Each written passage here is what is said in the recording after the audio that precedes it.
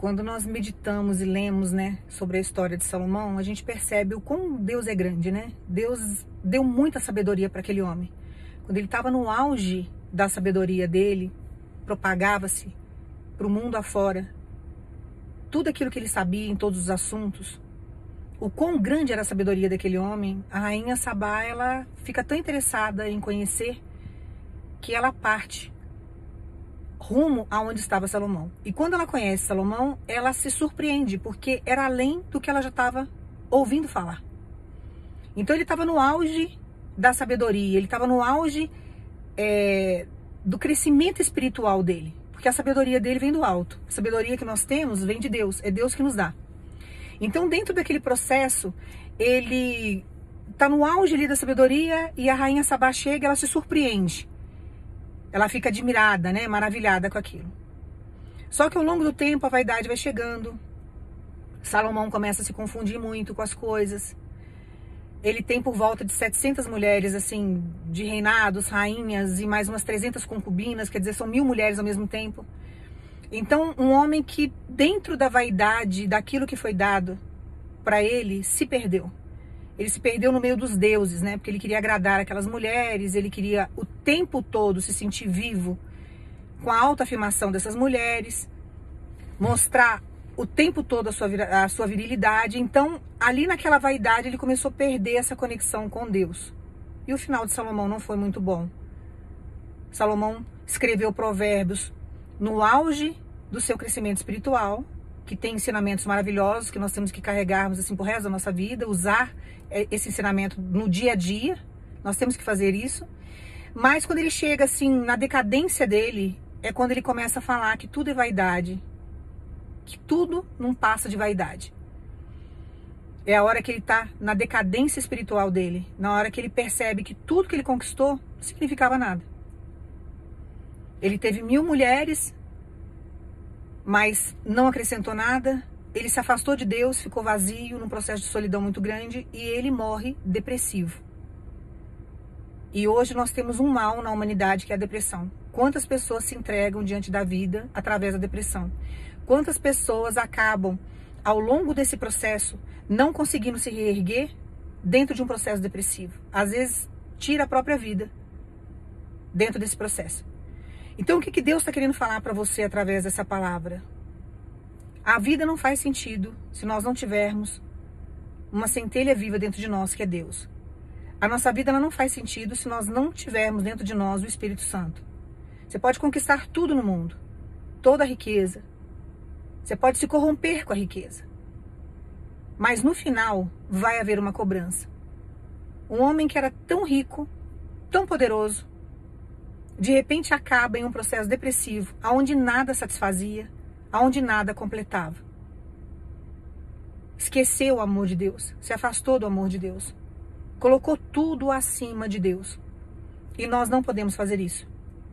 Então Deus manda dizer para você que por mais difícil que seja o seu processo, Deus tem contemplado que por mais dificuldade que você tenha passado, você não abandona Deus em momento algum. Você está sempre firme com Deus.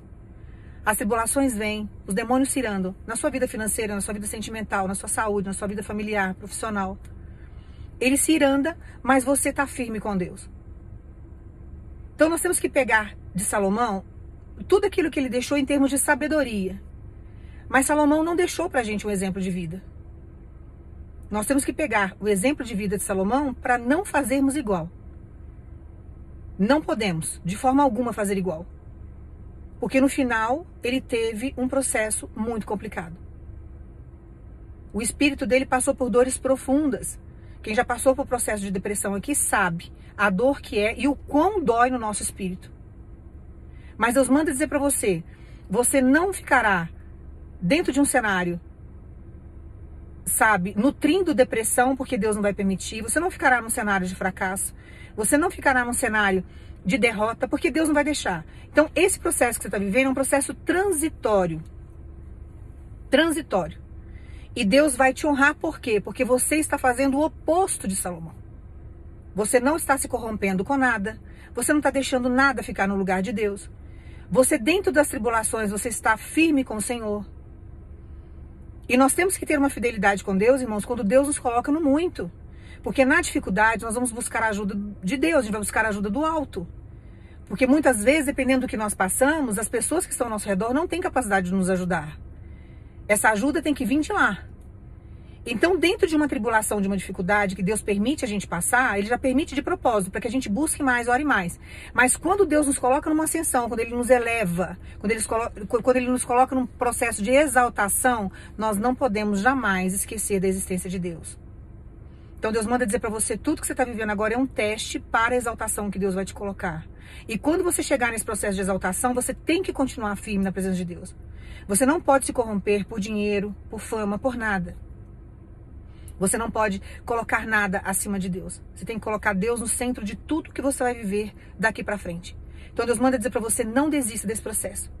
Continue firme, porque dentro desse processo que você está vivendo, eu estou chegando com grande exaltação. Nesse processo que você está vivendo, está chegando restituição no seu cenário.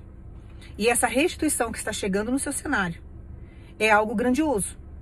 E Deus quer exatamente isso, que você permaneça firme na presença dele. Não abandone Deus. Quando a sua conta bancária estiver cheia, quando Deus te der um carro novo, quando Deus te colocar numa casa maravilhosa, quando Deus te der um casamento abençoado, quando Deus preparar viagens que você nunca imaginou que você ia fazer, quando Deus exaltar o seu ministério, não abandone Deus. Então, tudo que a gente vive em termos de provação, irmão, são testes que Deus nos faz.